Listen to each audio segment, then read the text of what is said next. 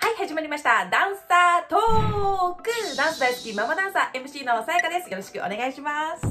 このチャンネルではですね、毎月ダンスに関わるゲストをお呼びし、ゲストトークといって対談をやってるんですけど、すいませんすいません2月のゲストなんですけれども、えー楽しみに待ってくれていた方、すいません、2月はね、ゲストトークが出ません。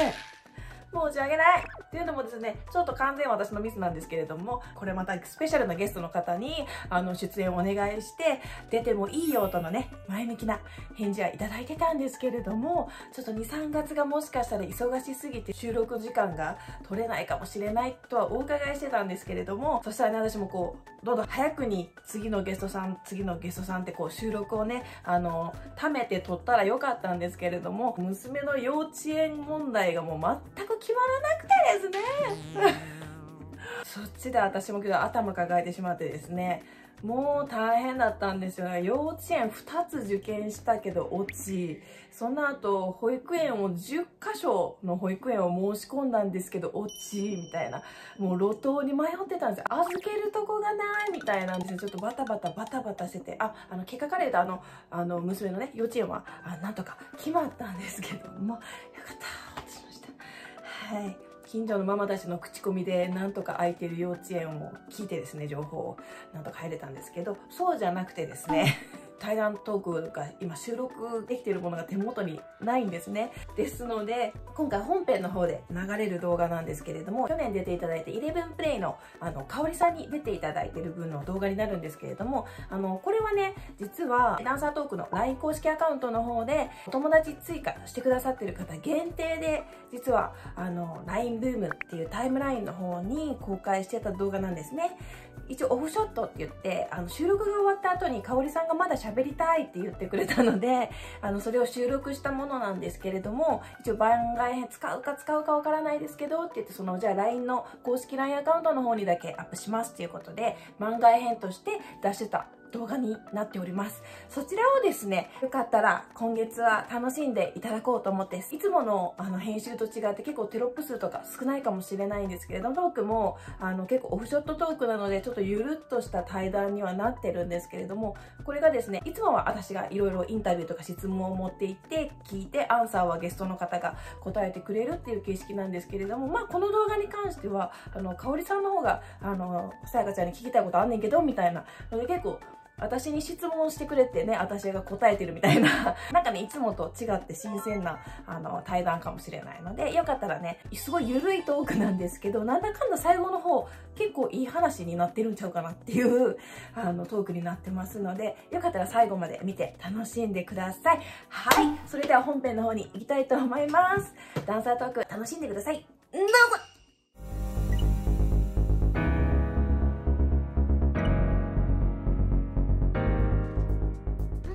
残したことないですか？大丈夫ですか？全然。かおりさん。大丈夫ですか？うん。私はつらつら喋っただけだけどどう？え逆にさ私は聞きたいことの方が多かったなと思っちゃった。なんでやねん。なんでやねん。いやあのさなんて言ったらいい。余ってる時間で喋ります？なんかえ喋りたい。えじゃあオオフショットということで。オフショットということで。使うかわからないけどわからないけど。アフタートークということで。ゆったり行きましょうかここから、はい34今年5なんじゃけどさ。うん。一個違いなんですね。うんうん。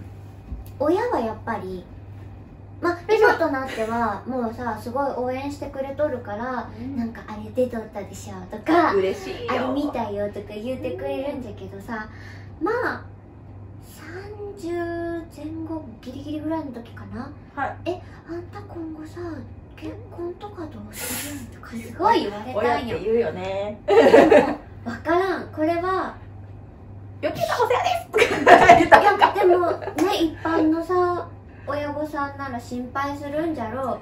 う言われるあんた子よ供はどうねするんやとか言われるわけよ、うん。事実そうですね。人でも私だってさいや結婚するならするだけはできると思うよ。でも子供はね考えるよねってなるじゃん。ああそうなんですか。結婚願望みたいな子供欲しい願望とかそんな別にめちゃくちゃ欲しいとかはないんですか？いやなんか今それが優先順位に一番じゃないっていうだけであって今自分がダンサーとしてプレイヤーでいることを今優先順位高めで置いてあるから、はい。結婚はまあ誰かね誰かしらとできるかもしれん。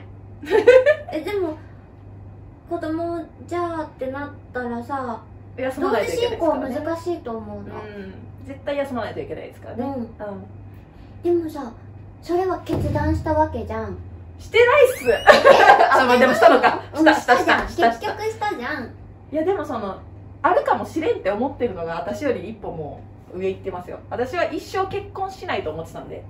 ダンあダンスに人生全てかけて舞台の上で死ぬんじゃって思ってたからなんじゃ。あのそんな結婚は一生せえへん私はって言い切ってましたね。だから親はびっくりしましたけど。あそ 私はだから、まあ、順番が逆なんですけど、うん。け好きな人が結婚したくて子供じゃなくて私は授かったので、うまあうん。うん彼氏と当時でいう彼氏と、大好きな彼氏とあのの間に子供を授かったから、うんでまあ素敵なね彼氏だったので、じゃあ結婚しようって言ってくれる彼氏だったので、だからそれが良かったじゃん。だってさ。結果ね、そうよ。だってねどんな人がおるかわからんけさえー、赤ちゃんって嫌な顔する人だったらもうさそうですガーンじゃんですね。まあ、主人はまあもう結婚次次付き合った子とは絶対結婚すると思って私とは付き合ってくれてたみたいなんですけどあ私が本当に、え結婚せえへんで結婚せえへんで、えー一生一生一生別に結婚せえへんでみたいな、うんうんうん。それ好きやから一緒におるけどみたいな当時はそのノリだったんで。じゃあいいきっかけだったんかね。そそれはそれでね。でかかったっすね、うんうんうん。こんな可愛いとは知らんかっいや可愛いじゃろめっ可愛いた可愛いっす子っ供めっちゃ可愛いの子でも可愛いんじゃもん。おもちちゃんって言って。でもよう抱っこできんけど恐ろしくて。あの落としたら怖いけあの立ち上がるまではちょっと私抱っこは苦手なんだけど。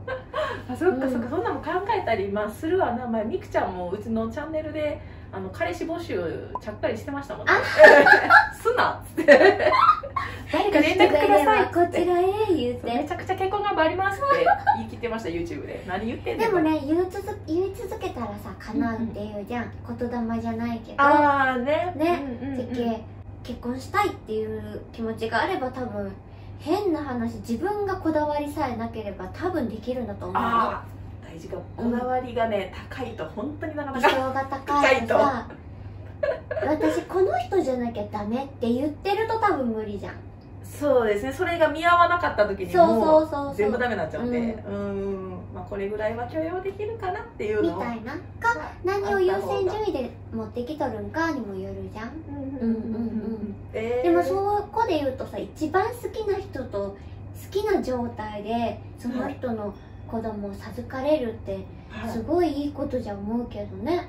よかったですね、うん。もう大好きっていう時に授かってもうで私子供はうん。もしできたらもう絶対産むって決めてたので、なんかどういうタイミングで、まあ、そのフィーリングが合う人となんかもうもしそういうことがあったらまあそれは授かり物だからありがたくというか、そうよ。うん。うん。ただ結婚するかはその当時は若かったんでよく分かってなかったんでうん。結婚というものうん。がなんか縛られるイメージがすごいあって。ダンスができなくなるって思ったんですよもう。あでもそう結構子供は。私もそのイメージがあったありますよね。あった。ダンサーとしてあ終わりなんやって思ったんですよ。うちはその子供ができた時に。だからやっぱ視野になかったですね。結婚したくないって言ってたのはダンスができなくなると思ってたから結婚しないって言ってたんですけど、まあ、できてるんで。うん。ねそうなんとかなるんよ。そうなんですよ。実は、あのできるので、まあ、家族の協力とかねあのいろいろあるとは思いますけども、本当に大好きだったら結局はダンスをやるんだなって、ううん。んなってるので。う、うん、そうそうそう。ママダンサーさんっていうね新しいコミュニケーションもあるじゃん,、うんうんうん。ツールとして。はい。だからやっぱりいいことしかない気がするけどね。その自分の欲ないかもしれないけど、なんか別にマイナスなことってそんなにそうそうそうそう。ない気がするけど実は実は実は。そうなんかうん。オーディションでね、うん。その一回なんか落ちて、うん。悔しくてじゃあ次のオーディションは受かろうってなるのと一緒で、なんかやっぱ悔しいこととか、まあ、私も子供に妊娠した時にあのやっぱ悔しかったのは仕事を断ったこと。うん。今あお腹に赤ちゃんいるんでできませんって断ったのがすごい悔しくていっぱい泣いたんですけどでもその気持ちがあるからこそやっぱりこう運でもなんとかダンス復帰しようとか、うんうん。こうやってやったやっぱり改めて本当にダンスが好きなんだっていうことを確認できたり、うん。今みたいな活動ができてるから、うん。そうなんか結構マイナスと思いがちなことって、ものすごいポジティブに跳ねるというか、そういう力も持ってるから結局はね全部必要なことになってくるじゃないですか。あかんかったかなって思うような出来事。ね。そうそう、うんうんうんうん。そうなんですよ。けさいいことよこと すごい一言で言っちゃったけど。そうなんかそれはね多分こういう年を重ねたから思うんでしょうけどね、うん。その時は必死でうわ自分こと今年はダメな年かもせんとかね。その時はこうへこむんですけどうん、うん振り返るとねこれがあのすごいいい経験になってるんですよ。でもでも逆にさ、うん。へこむことも大事なんじゃな思うその私がその一回落ちて悔しいわ、辛い。辛いもうやめよってなっとったら今の私はいなかったと思う、うん。あいかんかったわ。じゃあ次頑張ろうっていうそのなんか反骨ハン精神みたいな。精神反骨精神か、うんハングリー精神って精何神はあのちょっともっともっとやりもっとやりたい。もっとこれこそ反ね骨精神。新しいことにどんどん挑戦したいハングリー精神あじゃあ反骨精神。反骨精神。はい まあにまあ似たようなもんや似たようなもんそうそうそうなんかそれがあるかないかでね人生大きく変わるけんさいい意味で客観視できるじゃん自分のことできるようになってきましたね、なんかその時に自分があやっぱダンス好きなんだなとか思い直せたとかさやっぱハマる人ってどんどんこうなっちゃうじゃんああもうできんかったわーいけん方向に行ったわってそうですねなるとうんね抜け出せん。けんさうん。実はその辛いなって思ってる状況うもん。意味があるんですよね、うん。こう未来につなげようとすれば本当に意味のあることに変わるので、ってことですよね。って感じで。うん。って感じで。でちょっとずっとまあだらだら喋ってられますけども確かに。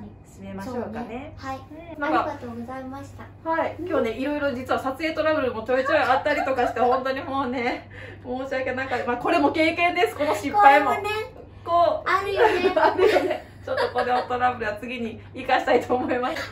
まあでもねあのなんかこうこういうねいろんなことを経ながら、うん。まあこういうおしゃべりとかうん。動画編集とかも私今年から初めてやってるのでいやすごいわ。うんいろいろこう経ながらでもダンサーのためにというか、こうこうダンス好きなのでこれからダンサー人口もきっと増えていくであろう中であの皆さんの参考にね小春さんの今日のお話とかが一つでも何か参考になれば嬉しいなと思いますのであの参考になって楽しかったなっていう人はぜひグッドボタン高評価とチャンネル登録もして応援していただけると 嬉しいと思います。ありがとうございました。終わった。あ冷や汗かいた ありがとうございました。ありがとうございました。だからから長く喋ってしまい